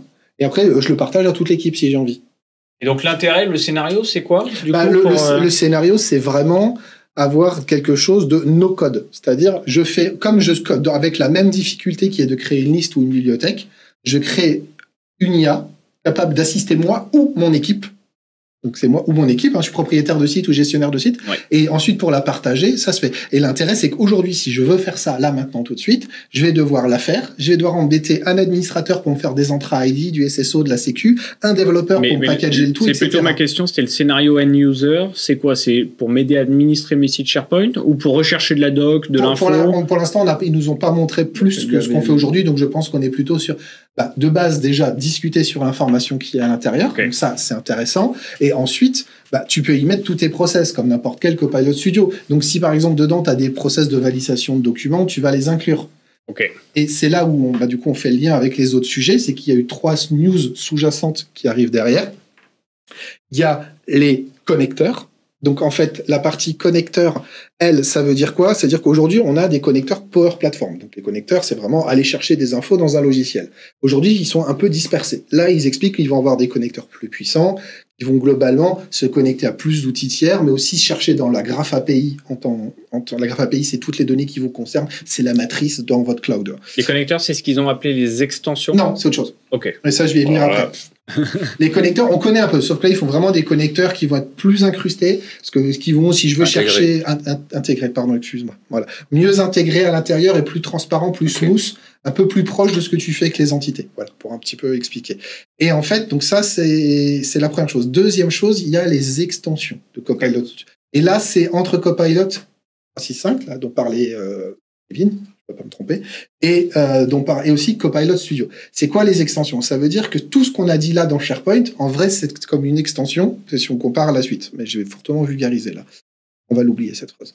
Et euh, en fait, les extensions, c'est quoi? C'est que tu vas avoir des copilotes dans Adobe, dans des produits tiers. En fait, c'est un peu comme on par- on parlait du partenariat avec Dell et tout, qui va faire les PC C'est ce qu'on voit à l'écran là. On Voilà. va avoir une espèce de main de marketplace, C'est ça. On va pouvoir d'extension Copilot. Mais c'est pour interroger les services tiers. Non. Alors, les deux, mon capitaine. Tu vas avoir dans Teams des connecteurs et des extensions qui vont permettre d'interroger ces services tierces. Mais tout comme aujourd'hui, ceux qui ont déjà joué avec un copilot, ils ont leur petit copain copilot, il y a une fenêtre qui apparaît et on, on- on joue dedans. On va pouvoir avoir d'autres services tiers, c'est-à-dire par exemple, on va avoir un service now qui va avoir euh, son agent conversationnel à l'intérieur, sauf que là aujourd'hui, si je veux le faire, en fait, je fais un copilot qui interagit avec les services now. Avec service Là, non, c'est directement ServiceNow qui est euh, qui utilise qui est Copilot. pour fournisseur d'un Copilot Voilà. qu'ils ont proposé, développé. Donc ça. euh, demain, Tu peux, de façon complètement transparente, tu vas intégrer ces copilotes à l'intérieur des outils. Et en vrai, pareil, c'est une simplification de quelque chose qu'on peut déjà faire aujourd'hui. Parce qu'en fait, juste pour la parenthèse, on a dit que c'est pour les développeurs la build. Copilot Studio, même moi qui n'ai pas développé depuis des années, j'ai réussi à me faire une version dev pure code. Parce qu'en vrai, derrière, c'est Azure Bot Framework qui tourne. Donc une fois que tu as compris ça, tu vas chercher vite fait sur le net. C'est quatre lignes de code pour euh, aller 5 avec l'incrus, avec la- l'appel en haut des API, etc. Enfin, globalement, ça va très vite. et c'est facile. Donc en fait, c'est ça qui est caché derrière, c'est que c'est l'Azure Bot Framework qui est capable de s'intégrer très facilement avec des éditeurs tiers. Voilà ce qui se passe en vrai. Donc, donc on peut imaginer demain, j'ai mon outil de réservation de voyage, euh, je suis, je sais pas, euh, on citer Amadeus par exemple, qui est un des, des, des leaders euh, mondiaux. Mm. Aujourd'hui, je pouvais moi faire mon copilot un peu custom parce que potentiellement j'ai un connecteur officiel Mm. Amadeus, je sais pas s'il existe. Euh, demain, c'est peut-être eux qui vont me proposer Voilà. un copilot déjà avec les bons scénarios, etc., packagé, dispo dans Teams, que j'appellerais par la Bah, marketplace. C'est surtout que eux, en fait, aujourd'hui, nous on le voit, hein, c'est notre quotidien des équipes aussi IA, c'est que très souvent, ce genre d'entreprise où les, les géants du transport de personnes, euh, ce qu'elles font, c'est globalement, elles disent nos scénarios sont un peu particuliers, nos entités sont un peu particulières. Euh, en vrai, ils partent très vite sur des sujets avec des sujets d'IA, avec les pro-dev IA, pour Mhm. fine-tuner les, euh, les IA. On est dans du pro-dev direct. Là, ce que ça veut dire, c'est qu'on est plutôt sur un Copilot 365 qui va exploiter les données de cet Amadeus ou de ce grand transporteur. Donc, ça ne sera jamais aussi puissant qu'une IA fine-tunée fine, fine, par des pro-dev, mais ça donne une étape intermédiaire pour aider sur ce qu'on voit à l'écran. Et la dernière news qui est intéressante, qui continue, c'est que là, je vous ai parlé des connecteurs hein, qui s'améliorent, je parlais des extensions pour le mettre partout, et du côté vraiment no-code au début, qui a SharePoint, on se doute bien qu'il y a des connecteurs, il y a un peu de dev hein, pour incruster, mais je vous ai dit que c'est une version simplifiée. Les extensions, et on dit, c'est une version qui permet de simplifier aussi s'incruster, même si globalement, j'y tiens beaucoup à ce mot ce soir, euh, même si globalement, on n'est pas encore dans du 100% pro-dev, et là, on va aller encore un cran plus loin, c'est qu'on a les agents qui arrivent. Et donc, les agents, c'est la promesse qu'ils nous ont faite il y a un an, arrive, c'est-à-dire que certains qui ont peut-être déjà joué ont entendu parler de ce qu'on appelle les generative actions en Copilot. Une generative action, c'est quoi? Dans un chatbot, historiquement, on a un arbre de conversation qu'on pilote et qu'on prévoit à l'avance. La generative action, c'est que l'arbre, on le jette. Ensuite, à la place, chaque situation à laquelle on veut avoir un ensemble de réactions du bot, on décrit un prompt. Donc hein, c'est une invite, une description de situation à laquelle on veut des réactions, des choses qui se passent. Et ces actions-là, on va en mettre plusieurs, on va en faire des isolés dans un coin qui vont se déclencher sur un contexte ou ensemble dans un package. Et l'idée, c'est qu'elles vont automatiquement un petit peu s'appeler entre elles. Et donc ça, c'est les generative actions qui sont à l'intérieur d'un contexte. Et là, en fait, aujourd'hui, on ne peut faire qu'une seule chose, les accrocher à Copilot 365. Et dans votre entreprise, on peut dire, voilà, voilà la liste des prompts qui peuvent se déclencher s'il se passe quelque chose. Et en plus, le résultat peut lui-même déclencher d'autres prompts, etc. Et les, là, ce qu'ils appellent les agents, c'est que ces agents, ils vont plus loin. C'est-à-dire que c'est pour ça qu'on parle plus de generative actions ou de, de- de petits modules, ils appelaient ça. Là, on va parler d'agents parce que ces agents, on peut les accrocher à tout et n'importe quoi de votre écosystème et de votre cloud. On peut les brancher à des outils tiers, par exemple qui sont branchés dans votre entreprise. Et l'idée, c'est que quand, par exemple, un Jira va euh, créer un nouveau ticket, c'est, ça déclenche plein de choses techniquement derrière et on sait l'attraper hein, techniquement avec un prodev. Ben, l'agent, on peut lui dire à l'agent, à chaque nouveau ticket, on décrit un prompt qui doit se produire quand un nouveau ticket arrive pour un projet en particulier. Et là, l'agent a une liste d'actions qui va déclencher. Sauf que d'autres agents qu'on aurait aussi abonnés à Jira, ils ont ah mais si c'est un ticket qui est de type euh, bloquant, alors il faut que tu préviennes telle personne, que tu fasses ci. Et en fait, tout un ensemble d'actions que vous deviez faire à la main, bah, juste en regardant vous-même en permanence ce Jira, en fait, ça va se déclencher. Donc on va au-delà de Copilot 365. Donc c'est là que ça devient intéressant. Et, et vu C'est un concept qu'on évoque depuis un moment, un an, euh, notamment côté Azure, hein, qui- qu'on commençait à amorcer. On a beaucoup parlé pour faire le, le parallèle hein, avec ce qu'on vivait côté euh, code. Du coup, il y a notamment, on a parlé des orchestrateurs, Mhm. de Langchain, le sémantique kernel, voilà. qui nous permettaient d'arriver à ce niveau-là. C'est-à-dire qu'on le rappelle, le LLM de base, lui, ne fait que comprendre et générer du texte. Pas d'action à ce moment-là. On peut presque dire pas d'intelligence à proprement parler. Enfin, pour aller à un niveau dessus, euh, là où on avait euh, les, les kernels qui étaient utilisés dans, dans les projets, c'est typiquement, euh, bah tiens, je suis un bot support, j'ai Monsieur Intel euh, qui m'envoie euh, du coup un- une problématique. Je vais peut-être aller déjà au moment où je, renvoie- où je reçois son ticket, vérifier s'il n'a pas eu d'autres problèmes. Et pour ce faire, je lui donne accès via des plugins, des skills, on parle de Oui, skills, c'est ça. Skills. des c'est la compétences. même chose. En fait, c'est, tu vas lui donner un certain nombre de compétences, et soit il va en déclencher qu'une seule, parce qu'il a besoin d'en déclencher, qu'une seule, pardon. Soit il va comprendre que ton action, il a besoin de la découper en plusieurs sous-actions, potentiellement. Et là, bah, il va déclencher la première, puis la deuxième, puis la troisième, puis la quatrième. Alors, On, on l'avait dit, hein, et d'ailleurs c'est assez fou, c'est quand, quand on regarde comment il a réfléchi, Euh, alors, je ne sais plus comment ils appellent ça, le- Mm. la pensée, en gros, Mm. euh, dans Mm. côté Azure. Mais on peut voir comment il a construit sa réflexion et comment peut-être il a lancé un appel à Jira, puis fait autre chose parce qu'il n'avait pas de réponse de l'appel à l'arbre Jira. de pensée. L'arbre de pensée, voilà. C'est exactement ça. En fait, en vrai, Copilot Studio, comme j'ai comparé tout à l'heure un Copilot Studio à, en fait, ce n'est que du bot framework version no code, low code. Ce que je viens de te décrire, en vrai, c'est si pareil, on soulève le capot, on verra un gros logo sémantique kernel. Pas de magie. Oui, c'est Semantic Kernel, qui est du coup la version des orchestrateurs proposée par Microsoft. Tout à fait. Voilà. En Langchain et du monde open source. Donc ça, c'est du coup, enfin, c'est c'est une vraie valeur ajoutée dans tout ce qu'on fait en développement euh, du coup, côté bot avec OpenAI ou les. LLM plus largement. Ça arrive côté low code, Voilà. du coup, c'est la bonne nouvelle. Et tout ça, justement, on- je parle de connecteurs, je parle d'extensions, tout ça, c'est des choses qui sont à la limite du low-code, voire du, comment, du pro-dev. Et ce qui est très intéressant, du coup, c'est qu'on a des studios qui arrivent. Donc, je vais pas trop, pas trop en parler là, parce qu'on en a parfois parlé dans des news précédentes, parce qu'on peut pas tout raconter. Mais globalement, il y a des notions de studio, de Power App Studio, de, de code. On a des notions de, de vrai code. où On va pouvoir aller au-delà de juste regarder un petit peu du XML ou du XAML ou ce genre de choses. On va avoir vraiment un accès à ce code. Et en plus ce- cet accès à ce code qui permet à du prodev de travailler et donc si on voit du code de co-autoré hein, ça aussi ça. parce que ça veut dire qu'on va versionner et on va pouvoir avoir toute la logique. Et donc qu'est-ce que c'est l'étape d'après? C'est GitHub. Voilà Je précise juste par rapport à ce que tu disais, ça veut dire que tu as aussi l'intégration du debug, oui qui est un détail, hein, mais qui pour un dev est hyper intéressant justement de voir, ok, mon action s'est déclenchée, j'arrive dans mon code custom et je peux voir quel document il m'a remonté, Oui. par quelle étape il est passé, etc. Et, et pourquoi peut-être le comportement n'est pas celui attendu. Exactement. voilà aujourd'hui c'est pas fou le debug en Power Apps c'est pas fou donc ça ça va vraiment aussi faire du bien là-dessus Tu as parlé de GitHub. Il y a eu un gros sujet a priori sur GitHub. En tout cas, il y a eu une grosse thématique évoquée. Donc, avec l'arrivée de ce qu'ils ont appelé les GitHub Copilot Workspace. C'est ça. Donc ils ont déjà parlé de GitHub Copilot tout court, hein, très fiers de leur adoption. En gros, ils ont euh, 1,8 million d'abonnés dans Ah, plus ça. de 50 000 entreprises. Pas mal. Pour un truc qui est sorti il y a quoi? Un an à peu près? plus, deux ans. Deux. En, en- en deux bêta, ans. en bêta deux ans. ouais. ouais, Ouais. mais en, en public En- et donc dans les entreprises un an C'est ça. À peu près. Alors j'ai plus les dates. Oui, en enfin, il y a eu mais GitHub Copilot, le Copilot X après. C'est ça. Donc, euh, bon, on est entre deux et un on an. va dire oui. Importe. C'était pas. mais mais oui, donc, donc, du coup, ils étaient, bon, étaient très fiers de ça, ce que je peux comprendre. Euh, l'outil est dingue pour euh, qui l'a utilisé, ne serait-ce qu'une fois. L'outil est vraiment dingue. Ju- Juste, en gros, il, sert à faire quoi? Il va à la fois vous expliquer euh, ce que le code fait. Donc, typiquement, je récupère du code que j'ai pas écrit. Euh, je lui demande, bah, explique-moi ce que ça fait, et il va t'écrire, bah, ok, ça fait ça, puis ça, puis ça. Alors là, puis tu ça. parles de GitHub, GitHub Copilot normal. tout. Alors, c'est pas l'image qu'on voit du coup à l'écran. Ça, c'est Ah. les workspaces qu'on verra après.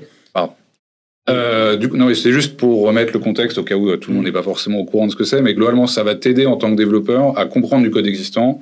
Tu vas lui dire, bah tiens, j'ai besoin de d'appeler telle API de tel euh, de tel service pour faire telle action. Il va te proposer du code pour le faire, qui est pas toujours bon. Potentiellement, il invente des fois des choses, mais bon, comme n'importe quel LLM, donc faut quand même vérifier évidemment, sinon les développeurs serviraient plus à rien. Mais en tout cas, ça aide énormément. C'est glissé. Bah, c'est l'inquiétude hein, euh, que tous les développeurs ont aujourd'hui de se dire, mais en fait, mon métier demain, c'est quoi? Il est où mon rôle? Exactement. Donc ça, c'était GitHub Copilot, puis Copilot X avec la version de chat de tout ça. Et là, ils ont rajouté un truc qui, pour le coup, en tant qu'ancien développeur, inquiète un petit peu quand je vois la vitesse à laquelle ça va. C'est que là, globalement, dans GitHub Copilot Workspace, on va avoir la possibilité de dire euh, on a un ticket qui est créé par euh, un utilisateur métier qui fait une recette, par exemple, ou qui a trouvé un bug en production. Il va dire, ouais, tiens, il y a tel problème à tel endroit, ce truc-là, c'est pas de la bonne couleur, ou ce truc-là, ça marche pas. Il va être capable d'analyser le problème, de te proposer un plan de correction en disant, bah, tiens, tu devrais modifier tel truc dans tel fichier, puis tel truc dans tel fichier, puis tel truc dans tel fichier. Et euh, évidemment, vu que c'est GitHub Copilot qui est derrière, bah, il va pouvoir te générer le code corrigé pour chacune des étapes du plan de correction. Potentiellement, l'utilisateur fonctionnel va pouvoir lui-même régler. Alors non, surtout pas. Non. Parce que justement, il y a quand même toujours besoin que le développeur Valide. Valide. valide, le, ce qui a été fait. Parce que, enfin, en vrai, c'est génial hein, comme outil. Vraiment, c'est génial. Maintenant, faut quand même comprendre ce qu'il te raconte et potentiellement, des fois, il se trompe. Et là, on est où? Donc, on est, euh, enfin, Dans de, GitHub. ce que tu as vu dans GitHub? Des- dans GitHub directement. ouais. Parce qu'en fait, les issues, c'est en gros quand tu crées un ticket, Ok. en gros. Donc, le GitHub Copilot Workspace, c'est l'interface classique de GitHub. Alors, je sais pas exactement où ça va être intégré. Je pense que ça va être dans l'interface juste de GitHub. Je pense qu'il faudra des GitHub ou des licences GitHub entreprises qui valent un peu d'argent. Mais, euh, mais sinon, oui, c'est ça, c'est exactement ça. Donc, c'était dans ton interface GitHub, là où tu gères tes tickets, là où tu gères ton code, là où tu gères tes pipelines de déploiement. Bah, tu auras ton workspace au milieu. Donc du coup, ça paraît assez impressionnant, a priori. Très impressionnant. Ok. C'était surtout la, la discrétion de l'intégration qui est assez impressionnante. C'est en fait, on est comme dans celle là où on a un- ben, Outlook ou Word où euh, t'es là et, il te dit, et tout d'un coup, boum, t'as Copilot qui est Et en là, train et là, de- t'es pas vraiment dans une logique d'interface conversationnelle. Non. T'es vraiment dans un assistant, mais qui est pas euh, juste un chat. C'est, euh, il prend ton truc, il dit bah voilà, le plan que j'imagine c'est ça. Tu peux Il te évidemment propose des ajuster- choses. C'est ça. Et tu peux ajuster le plan. Tu dis bah tiens, tu devrais aussi mettre la doc à jour hein, au passage. S'il n'a pas prévu de te le proposer, tu dis bah tu devrais mettre à jour le readme. Et euh, quand tu vas lui faire l'exécution, bah il va potentiellement Ça. générer aussi la doc à jour. Donc d'un point de vue UI, on voit une adaptation de l'UI C'est ça. Ouais. à, au fait de travailler avec Mais, l'agent ils- mais conversationnel. ils insistent bien sur le fait Qu'il laisse la main au développeur, c'est-à-dire qu'il prend pas la décision tout seul. Toi, il te propose pas une solution toute faite. Ouais. Il va te dire, je pense que le plan c'est ça, et pour chaque étape, il va te proposer une modif de code que tu es Bah, censé valider unitairement. Tu sais, Copilot, Microsoft, ils y tiennent beaucoup. Au... Parfois, je fais souvent la blague euh, en disant euh, pour une fois, Copilot, c'est pas l'équipe marketing qui a pioché des lettres de Scrabble au hasard pour trouver un nom. C'est ils y tiennent au fait que ça s'appelle Copilot et que comme ils disent, Oui, ils c'est font de l'IA pilote, en fait. et surtout il faut le faire de l'IA responsable. Ils ont dit Microsoft et ça ils y Mm. tiennent. Et donc je trouve que pour l'instant c'est pas qu'une limite de capacité produit. Ils veulent que ça reste un pense, copilote parce que euh, du code, même s'il te fait, il te propose toutes les corrections, il voit les corrections par rapport à l'endroit qu'il lit. Il voit pas ça par rapport au contexte de ton projet de Si. 5 ans. Si, si. Il voit tout le Oh là contexte là. global du projet. Mais il va, tu penses qu'il va, va vraiment tenir Alors, compte il va pas forcément regarder. Enfin, alors, je sais pas s'il regarde l'historique, mais en tout cas, il regarde l'état actuel Ouais. entier de tout le projet, ça c'est sûr. Ok. c'est- vraiment- ça te- coupe l'herbe sous le pied. Ah ouais, je me suis fait. euh, C'est vraiment dingue. Il le fait, ça ressemblait à de la sorcellerie. hein. Le truc, euh, c'était. Mais, vraiment, on se dit, euh, il y a deux ans, on n'imaginait même pas que ça soit possible. Il y a un an, on disait, waouh, Copilot X avec le chat, tu lui dis, fais-moi ci, fais-moi ça, et il te le fait, c'est ouf. Là, il commence à comprendre les tickets et te proposer un plan de correction structuré euh, de toutes les étapes qu'il faut faire, etc. Et avec un pro derrière, tu demandes d'argumenter ça après Oui. auprès de ton équipe métier. C'est surtout comme marqueur temporel, c'est marrant, c'est qu'à l'époque, on avait fait, nous, une vidéo courte sur euh, le no-code, le low-code, la fin des pro-dev. Oui, non, est-ce que c'est une légende? Et au moment où on a fait cette vidéo, maintenant qui commence à presque un an, je dirais, euh, on était clairement, non, ça remplacera pas les pro-dev. Là, bah, je pense que la vidéo, ça pourrait être intéressant de se repencher dessus dans six mois, avec tout ce qui va sortir. Bah, on- Euh, n'espère pas, hein. mais c'est vrai que c'est, ça reste, je trouve, potentiellement inquiétant. Oui, j'ai toujours aimé élever des abeilles. euh, Ah, D'ailleurs, Je tu n'as qu'à traverser la rue si tu veux être apiculteur. C'est le président qui l'a dit. On, on charrie parce que tu l'as dit. Enfin, tu- si on prend GitHub Copilot, c'est un extrêmement bon outil. Oui, C'est sans doute un des meilleurs copilots qui existent. Sujet Ouais. à l'erreur et Bien on sûr. a toujours besoin du développeur. Et finalement, c'est aussi toujours c'est le le travail du dev. développeur qui va changer, en fait. Ouais, Voilà. et, et qui amène la nouveauté aussi. À un fait. moment, c'est, c'est, faut pas oublier que GitHub Copilot est entraîné sur du forum et que c'est souvent les visions des, des archis, des devs qui ont amené Pas sur le forum, des nouvelles aussi- mais- manières de mais- faire. Mais surtout sur tous les projets open source de Oui. GitHub. Oui. hein. Ça. C'est pas Mais pour rien qu'ils l'ont racheté, à mon il y a suis- quelques vois, Je années. suis d'accord avec toi le fait que ça va transformer le métier. Euh, Satya, il avait euh, sorti une phrase qui était intéressante dans sa conf. Il disait que. Je l'appelle par son prénom. Ouais. Il nous a pas tout dit. Ouais. Non, mais euh, Satya Nadella euh, avait lancé une expression qui était intéressante là, vers le début de sa, de sa plénière, où il disait que l'IA permettait d'abaisser euh, le sol, entre guillemets, et, euh, et élever le plafond. En fait, c'est que l'accès en fait à, à certaines choses aujourd'hui, euh, le code, etc., en fait, euh, est beaucoup plus simplifié grâce à ces Mm. euh, sujets d'IA. Mais potentiellement, tu pourrais faire largement plus. Et pour moi, c'est une transformation du métier de développeur là, qui va s'opérer dans les mois, années parce à que- venir. Ce que Alors- tu, le temps que tu gagnes, c'est peut-être mon côté utopiste, le temps que Non, tu non. gagnes permettrait de faire des choses auxquelles tu n'avais pas pensé jusqu'à Oui, présent. Alors, moi, je vais, attends, moi, je vais dire un truc qui va peut-être pas plaire à certains développeurs, mais bon, moi, je l'ai été. Je plaisante que je développe plus depuis quelques années, et je l'ai été sur de très nombreux langages et technos depuis euh, plus de 20 ans. Et honnêtement, au bout d'un moment, enfin, le langage en lui-même, il faut en faire totalement abstraction. Le, développeur, au bout d'un moment, ce qu'on attend de lui, c'est sa capacité de réflexion, de conception, de penser des architectures, c'est d'aller au-delà. Au début, quand on débute, on a tous débuté, on, a du mal vraiment sur le code en lui-même, c'est apprendre une nouvelle langue, on fait que des bugs parce qu'on n'a pas le bon mot au bon endroit. Mais au bout d'un moment, ce qu'on attend vraiment, c'est cette capacité de projection et de réflexion. Donc oui, ça va faire mal, euh, l'expression un peu vulgaire, pisser du code n'aura plus d'intérêt. Mais en vrai, c'est jamais ce qu'on a préféré. Voilà, il y a très peu En de développeurs qui, surtout- attendent ça. C'est surtout pour les développeurs juniors que ça va être compliqué Ex- en fait. Parce que la, la- progression que tu évoques là, c'est obligé de commencer par l'étape où euh, tu corriges des bugs euh, de- que les autres ont fait, que, Voilà. que, tu- Ah ouais, que c'est tout ce que tu fais, euh, généralement, euh, il y a un bug à chaque Mhm. fois, etc. Mais c'est une phase d'apprentissage qui est obligatoire.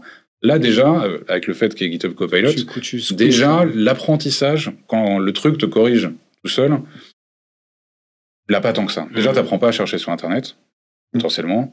Et si maintenant, il te corrige tous les tickets tout seul, enfin, et, Et- du et coup, cette progression, tu vois, de comment t'arrives à l'étape, je suis lead dev, je suis potentiellement architecte demain, etc., ça va pas être si simple. Alors, tu sais, comme la différence, pareil, là, je vais encore dire des choses qui vont, peuvent créer un énorme débat, mais c'est la différence entre le développeur qui sort d'une école où on lui a appris direct euh, les derniers langages à la mode et ceux qui sortent d'une école où ils ont commencé par le, le C, C++, euh. l'algorithmique. Moi, moi je, sais- je suis un peu old school, mais j'ai passé un an à bouffer de l'algorithmique. Excusez-moi l'expression, je me suis- le livre d'introduction, il fait 1200 pages. hein, pour la première année. J'ai fait un an d'algorithmique avant de Ça- voir un Ça fait langage. combien de tokens, ça, Romain Depuis, c'est écrit euh, Police 5. hein, euh.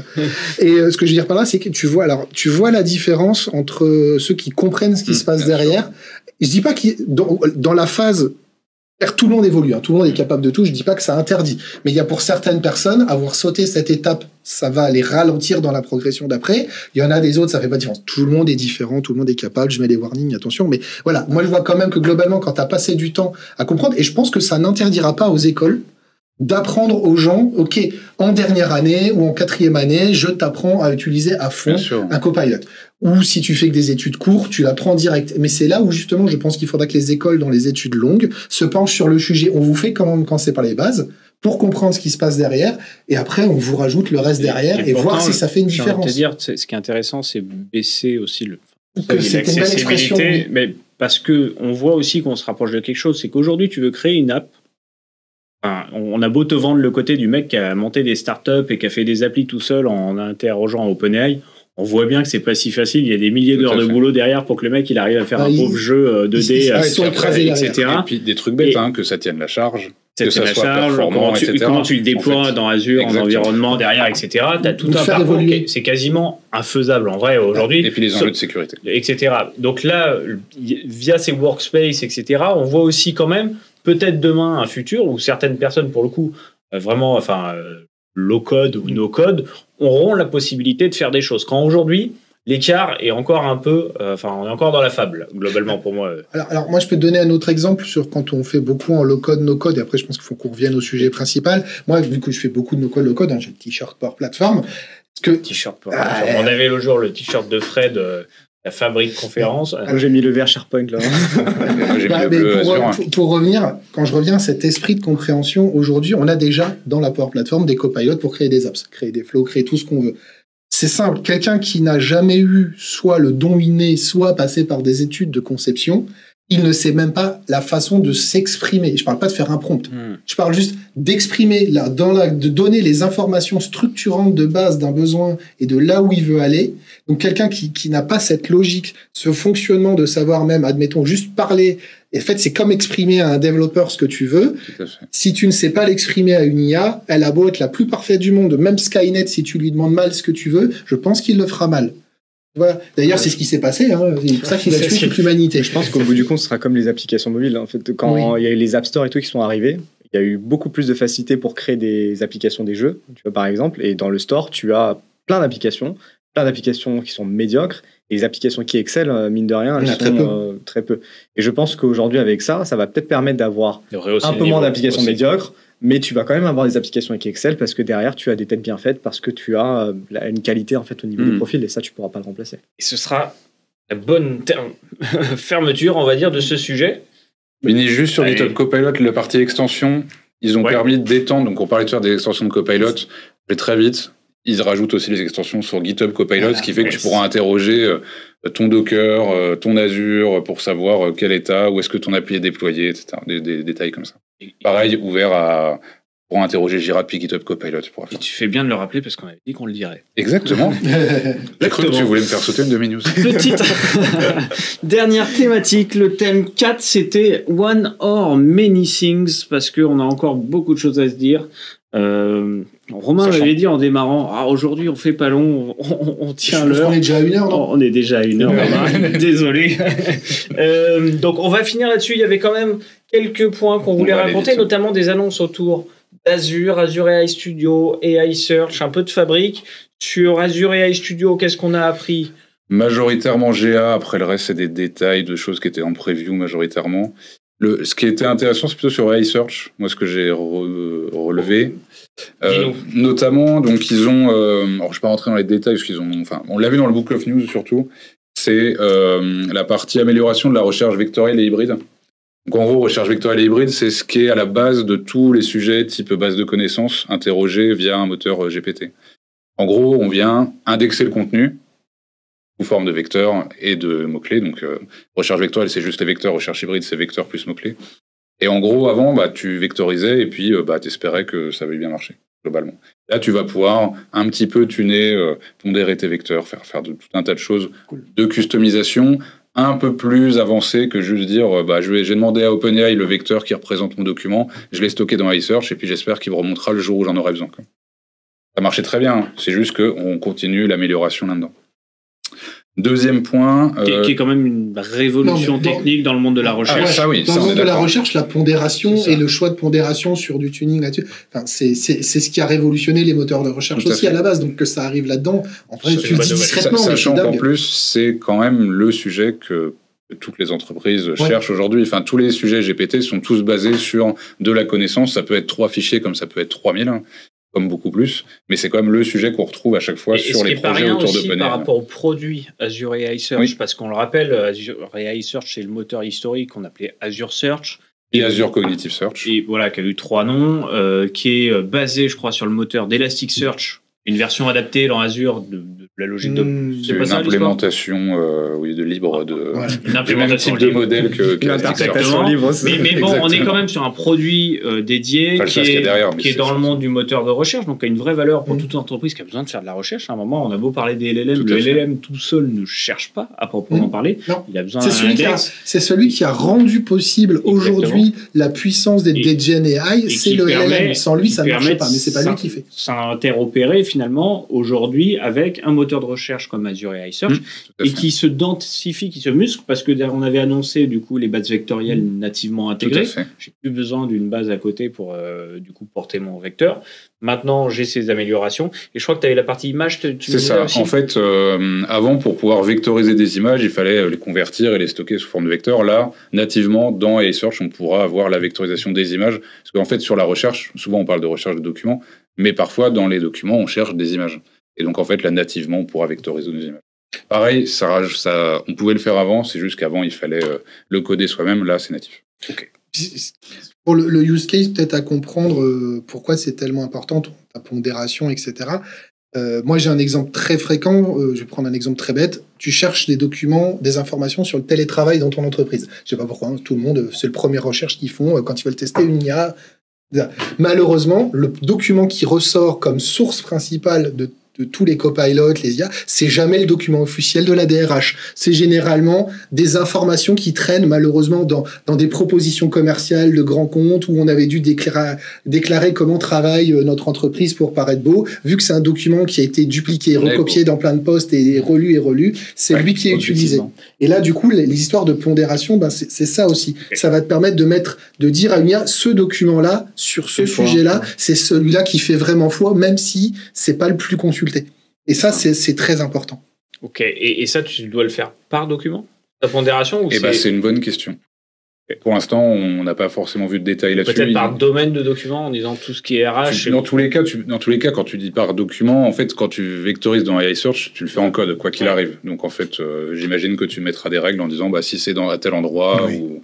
Après, ça on ne sait pas exactement encore comment ça s'implémentera, mais en tout cas, on voit qu'ils. Ce qui est intéressant, c'est qu'ils continuent à investir sur ces sujets-là pour toujours améliorer. euh, Ça va permettre peut-être aussi de faire un peu le tri, parce qu'un des sujets Oui, qu'on avait remonté, c'est le côté de bah, demain, je le fais sur mon SharePoint, il y a peut-être des, des fichiers obsolètes et un mélange d'un peu Mm. de tout. Comment, à ce qu'à un moment, je priorise quand même ceux où je sais que la source est la plus à jour à dans fait. telle partie, plutôt qu'aller chercher un peu tout et n'importe Donc ça, de quoi. toute façon, dès qu'on aura du détail, on pourra peut-être en reparler. Donc ça c'était Azure AI Search.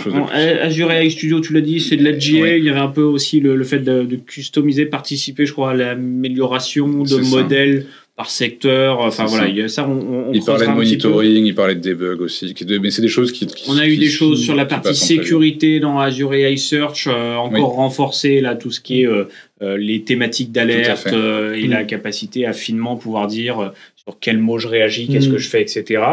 Et il y avait aussi, parce qu'on n'a pas du tout parlé de fabrique, Ouais. il y avait l'intégration du coup d'AI Search avec OneLake pour pouvoir du coup rechercher euh, dans tes documents OneLake via AI Search. Ça, c'est un point. On va quand même parler un peu de fabrique. Non, dommage, alors pourquoi, pourquoi j'en parle? Il y a quelque chose, et là où c'est important ce que, ce que tu cites, c'est qu'aujourd'hui, Microsoft positionne Fabric comme le socle data de base de la GenAI aussi. Mm. Oui. Donc ils disent globalement, vous voulez faire de l'analytics ou de la GenAI, c'est Fabric. Et jusque-là, on voyait pas trop pourquoi. Tu te disais, bah ouais, je mets mes docs dans le OneLake. Qu'est-ce que je vais en faire? Enfin, ou pourquoi plus qu'un SharePoint? Donc là, aujourd'hui, on a des facilitateurs Tout à fait, du coup, une intégration va pouvoir faire du RAG sur de la donnée fabrique. c'est ça. à peu près ça l'idée. C'est ça. Parce que ouais, tu pouvais déjà interroger via OpenAI tes documents qui étaient dans Fabric, parce que tu avais une intégration Mm. du coup d'OpenAI dans Fabric, mais c'était pas du RAG à proprement parler, et surtout, bah, tu pouvais pas sortir de Fabric. Sur Fabric, on a eu deux autres petites annonces pour les citer. Euh, J'en parle. On a parlé euh, du Real-Time Hub. Alors, on, on le détaillera peut-être ce qu'il y a derrière.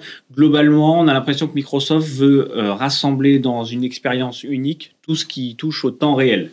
Euh, C'est-à-dire que aujourd'hui, on avait de manière séparée le côté stream, le côté data activator avec les alertes et peut-être d'autres choses qu'on pouvait faire le côté reporting. Là, on va avoir un workspace dédié du coup Temps au real time, Mm. donc tout ce qui est observabilité, tout ce qui est lié à- Tout au langage IoT, actuel, tout ce qui est IoT, à l'IoT, donc avec les connecteurs. Alors, on, a- certains on les avait déjà plus ou moins, mais euh, voilà tout ce qui est lié à la partie IoT Hub, tout ce qui est euh, la- lié à la partie, euh, euh, je, je me perds dans les noms.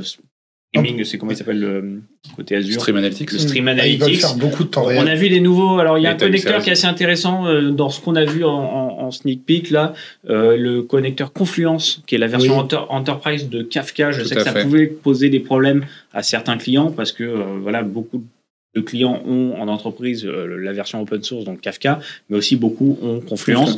Là, on a vu apparaître le logo Confluence, donc il y a on, on- on- on le savait, on avait un peu travaillé, euh, Frédéric et Eric, euh, nos invités, euh, la semaine dernière sur l'épisode spécial Fabrique. On sentait qu'il y a des choses sur l'intégration, notamment le real-time qui allait arriver. Ça a été présenté. Alors, c'est pas hyper dense ce qu'on a eu comme info, on en saura plus un, peu après.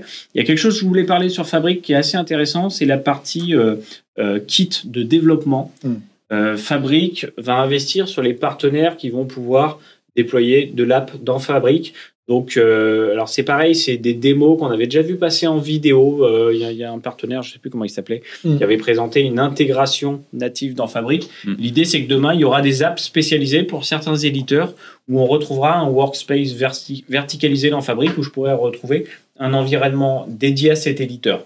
Ça a été présenté, ça a été introduit, et du coup, euh, voilà, c'est à peu près les deux grosses annonces qu'on a eues, plus ton euh, l'intégration. Mais globalement, tous les sujets, c'est vrai qu'on n'en a pas trop parlé, parce que l'année dernière, on en avait beaucoup parlé, c'est l'intégration des partenaires et des ISV, enfin, tous ces sujets-là. Là, on, moi, on n'a pas fait un gros truc, c'est pareil, hein, tous, les, tous les connecteurs, les extensions, tout ce que j'ai raconté là, il y aura une partie store, il y aura une partie ISV, comme, comme toujours. Mais c'est vrai que moi, c'est important, je voudrais rebondir, c'est qu'on parle beaucoup du real-time, et Microsoft, ils sont un peu fait bâcher, pour être gentil, où vous dites, OK, depuis un an, vous nous sortez beaucoup de choses.